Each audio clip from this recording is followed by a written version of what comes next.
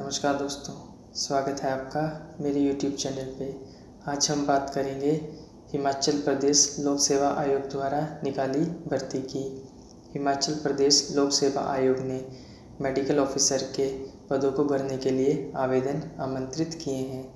इन पदों पर 26 जनवरी 2023 तक ऑनलाइन आवेदन किए जा सकते हैं। ये पद health and family welfare department में भरे जाएँगे। मेडिकल ऑफिसर डेंटल के कुल दस पद भरे जाएँगे, जिनमें पाँच पद सामान्य वर्ग के उम्मीदवारों के लिए आरक्षित हैं, जबकि दो पद ओबीसी के लिए, एक पद दिव्यांग के लिए, एक पद भूतपूर्व सैनिक के लिए और एक पद एसटी वर्ग के उम्मीदवारों के लिए आरक्षित हैं। मेडिकल ऑफिसर डेंटल के पदों पर आवेदन करने वाले उम्मीदवारों के पास बैचलर ऑफ़ डेंटल सर्जरी यानी कि बीडीएस की डिग्री होनी चाहिए। डिग्री को डेंटल काउंसिल ऑफ़ इंडिया के साथ पंजीकृत होना चाहिए। इन पदों पर अप्लाई करने वाले उम्मीदवारों की आयु 18 से 45 वर्ष के मध्य होनी चाहिए।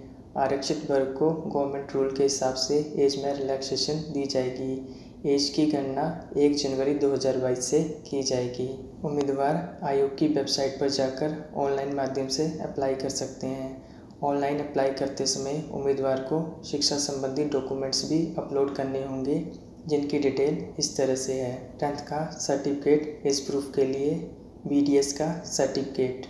Category certificate bonafide Himachali certificate. EWS category उम्मीदवार को इनकम सर्टिफिकेट या बी सर्टिफिकेट अपलोड करना होगा। इन पदों के लिए एग्जामिनेशन सेंटर तीन जगह रखे गए हैं, शिमला, धर्मशाला, मंडी। मेडिकल ऑफिसर के पदों के लिए आवेदन फ़ीस सामान्य और ईडब्ल्यूएस कैटेगरी के लिए चार सौ रुपये S C S T O B C of Himachal Pradesh के लिए सौ रुपये रखी गई है, जबकि महिला उम्मीदवार और एक्स सर्विसमैन के लिए कोई भी फ़ीस नहीं ली जाएगी।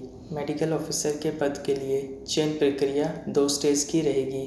पहली स्टेज में स्क्रीनिंग टेस्ट होगा, जिसमें सेवेंटी क्वेश्चन बीडीएस डिग्री से संबंधित पूछे जाएँगे, बीस क्वेश्चन एच पी जीके के पूछे जाएँगे और दस क्वेश्चन नेशनल और इंटरनेशनल जीके के पूछे जाएँगे। कुल सौ मल्टीपल चॉइस क्वेश्चन का एग्ज़ाम लिया जाएगा और समय दो घंटे का दिया जाएगा।